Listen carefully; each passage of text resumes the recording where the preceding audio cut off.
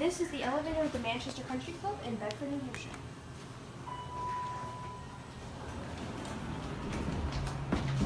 Go up to two.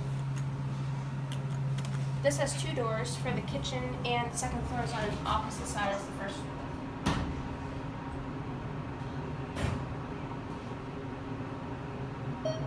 It's a ThyssenKrupp 4 with a grocery beep.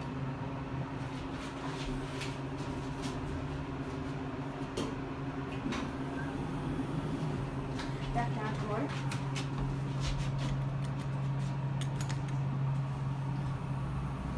And let's get a cabinet. It's a very nice elevator.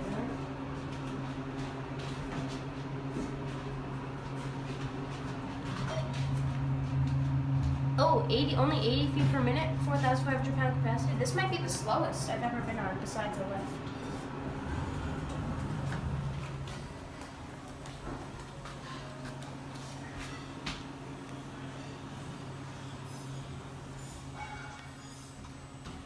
it.